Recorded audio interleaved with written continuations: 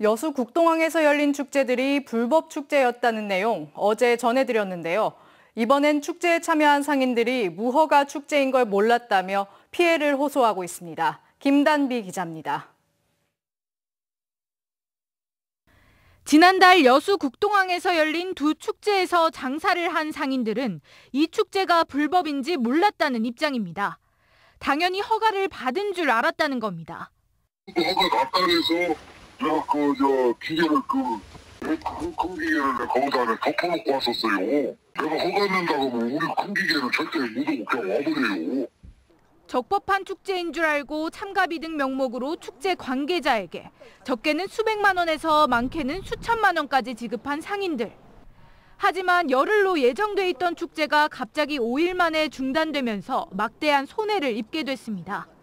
준비한 물건도 다 팔지 못하고 울며 겨자 먹기로 철수했습니다.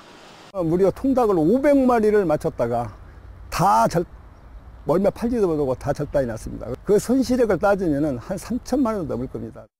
축제 관계자는 축제를 중단한 건 시에서 철거 명령을 내렸기 때문이라고 설명했습니다. 본인은 불법 축제이기 때문에 말렸다고 주장했습니다. 일부 상인에게 돈을 받은 건 인정했습니다. 예, 불법으로 한 건 맞습니다. 자, 나가 후자는 것도 아니고 분명히 들었어요, 사람이. 자, 후지 말아라. 나는 여기 지역 사람이다. 불법은 허가가 안 된다.